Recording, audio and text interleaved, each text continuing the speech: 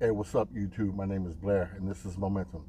In today's video, listen to your clients. Stay tuned.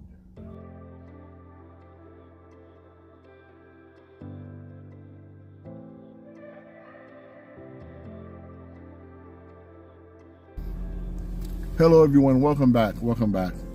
All right, let's get straight to it.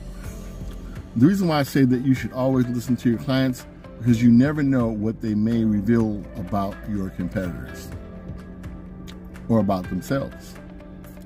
You know, I had a client once, we were talking, right? This is right when we met up. And he was saying, man, we were talking in the context of my competitors. You know, he was like, man, yeah, you don't have to worry about me going anywhere. You know, I'm gonna be with you because they won't budge you know, he was talking about their prices. So I said to myself, all right, cool.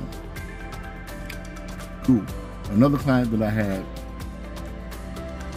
she was talking to me. She was like, yeah, yeah, I get this too. You know, or about, or she, no, she was on the phone.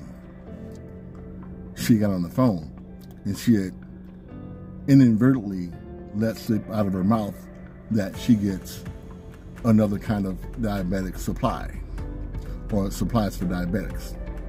I said, yeah. So the next time we met up, I asked her about that. And she was saying, she said, well, I didn't, I didn't know you, you bought those. I was like, yeah, I bought those. I buy those. So she said, cool. So I've been buying that particular product from her every since Every since. So anyway, I'm gonna leave it there. I don't want to be too long with this video. I want to thank all my subscribers, all my old subscribers, all my new subscribers. You know, um, hit the like, hit the like button. You know, comment. You know, subscribe if you're new. All right. So anyway, I'm gonna leave it there. And remember, you cannot gain momentum without traction. And with that being said, into the next video. Peace out.